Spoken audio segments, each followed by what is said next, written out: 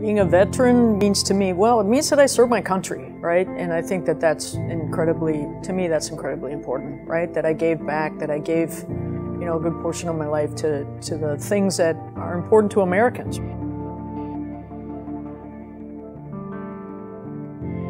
But I could still be engaged with that military community, uh, that sense of service, uh, knowing that the things that we were building um, were going to help those people in the field and help the warfighter. Um, and it still continues to this day to be incredibly important um, that the things we're doing is really impacting and, and affecting the mission.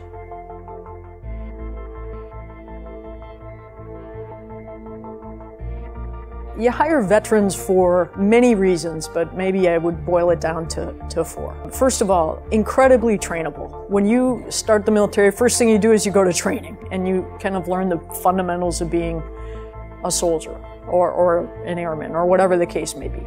And then you go into your own occupational training. And then you're always being trained, right? It's always about continuous improvement, continuous learning.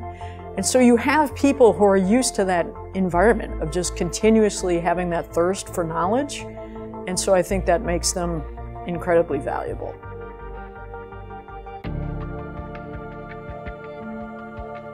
What's the other thing? Leadership. That's the other thing that you're always taught in the military are leadership, leadership skills, and how to be responsive to the things that your leaders want from you. Um, so that would be the second thing. The third thing, I think, is uh, a sense of teamwork, com camaraderie that veterans bring, right? Selflessness, I think, is the word I would use. They're used to having to work in a functional environment, adapt, um, be in many different uh, functional groups to, to accomplish the mission. And so there's an element of mission first, um, I think, that they bring to the table.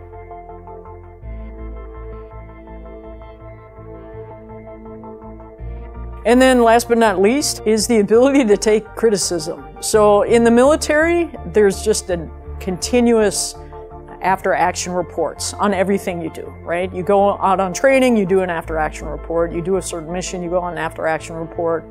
Everything is associated with that. And in essence, what that is, is valuable criticism. And so the ability to take input, act on it, make yourself better, self improvement, incredibly important. And so I think that that's the reason why um, hiring veterans is, is, so, is such a good thing to do.